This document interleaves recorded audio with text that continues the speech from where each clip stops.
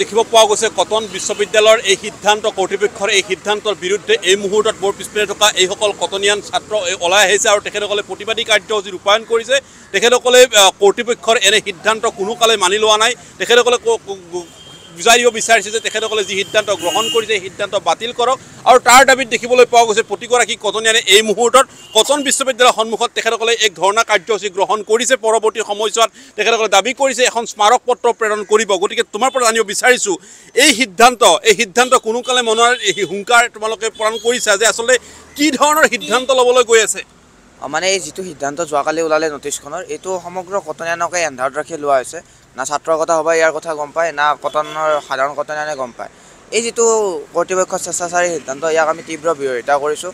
আমি যোৱাকালিৰ পৰাই কৰ্তৃপক্ষৰ লগত বাৰম্বাৰ যোগাযোগ কৰিব চেষ্টা কৰি আছোঁ আলোচনাত মিলিব চেষ্টা কৰি আছোঁ।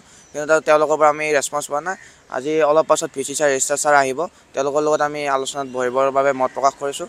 নিশ্চয় এটা পজিটিভ সিদ্ধান্ত ওলাব। আৰু এইটোক আমি তীব্ৰ বিৰোধিতা কৰিছোঁ। কাৰণ কটনৰ মাটি আমি বহিৰাগতক এৰি দিব নোৱাৰোঁ। কটন এখন উত্তৰ পূৰ্বাঞ্চললৈ উচ্চ শিক্ষাৰ প্ৰাণ কেন্দ্ৰ। কটন বুলি ক'লে ঐতিহ্যমণ্ডিত কটন বিশ্ববিদ্যালয় আমাৰ সকলোৰে আপোন। আৰু ইয়াৰ মাটি আমি কেতিয়াও বহিৰাগতক ব্যৱসায়ৰ বাবে এৰি দিব নোখোজোঁ।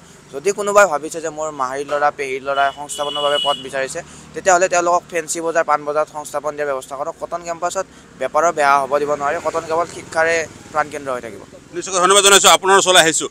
যে কটন এক আৱেগ আৰু এই আৱেগ মই এই কটনক লৈ এতিয়া দেখিব পোৱা গৈছে একাংশই এতিয়া ভূমি বেদে তেখেতসকলে বিক্ৰী কৰা ভূমি তেখেতসকলে লিজত দিয়া যি ব্যৱস্থা সেই ব্যৱস্থাক লৈ শিক্ষা প্ৰদান কৰিছে।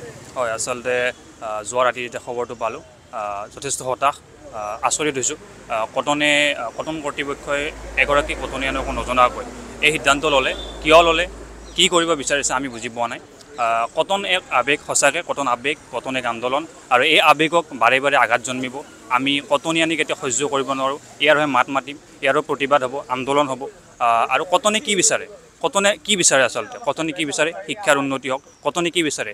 লাইব্ৰেৰীৰ উন্নতি হওক কটনে কি বিচাৰে? সহ সমস্যাৰ সহ সমস্যাখিনি সমাধান হওক কটনে কি বিচাৰে? ইউৰিনেলৰ সমস্যা সন্মুখীন সমস্যা সমাধান হওক কটন বিশ্ববিদ্যালয় হ'ল কটন কলেজৰ পৰা কটন বিশ্ববিদ্যালয় হ'ল আৰু সেই বিশ্ববিদ্যালয় এখনত যি পৰ্যাপ্ত সুবিধা লাগে কটনত নাই।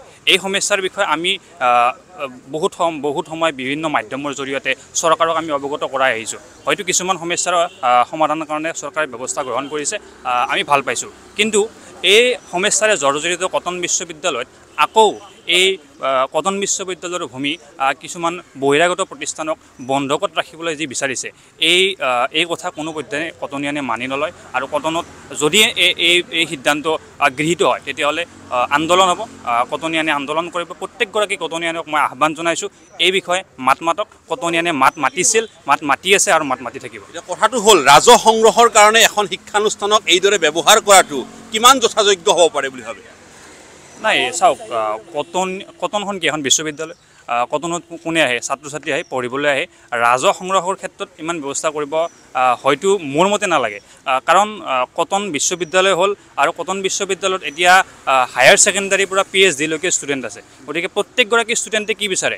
কটনখনত শিক্ষাৰ এটা পৰিৱেশ আহক। গতিকে শিক্ষাৰ পৰিৱেশৰ ক্ষেত্ৰত বা শিক্ষাৰ ক্ষেত্ৰত যি সিদ্ধান্ত গ্ৰহণ কৰে আমি মানি ল'ম। কিন্তু কটনৰ এনেই বিশ্ববিদ্যালয়ত মাটি কম আৰু সেই ভূমি আকৌ বেলেগক বন্ধকত দিবলৈ ওলাইছে সেই ক্ষেত্ৰত আমি কোনো ধৰণৰ মানি নলওঁ। মাত মাতিম কটনীয়ানে মাত মাতিব প্ৰত্যেকগৰাকী কটনীয়ানক অনুৰোধ কৰিছোঁ আপোনালোকে মাত মাতক। মোৰ সৰুখিনিক কৈছোঁ তোমালোকে মাত মাতা আৰু মোৰ সমনীয়াখিনিক কৈছোঁ তোমালোকেও মাত মাতা।